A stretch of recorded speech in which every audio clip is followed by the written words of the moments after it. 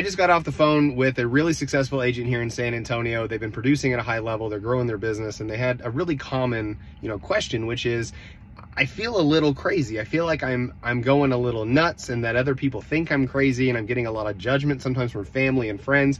And I just wanted to remind everybody that if you are going to build something amazing or you're going to be super successful, you're going to probably be a little crazy. There's something a little bit off. You're very hyper focused. You have a lot of clarity for what you want. And whether you're driven by passion or a need for fulfillment or rage or whatever that thing is, you know on the inside, like I have to get to this next level and it's part of who I am as a person. So it's okay if you're going to be a little crazy, make peace with being a little bit of a maniac. And I promise you, if you stick to that, you are going to build some incredible things if you stay consistent.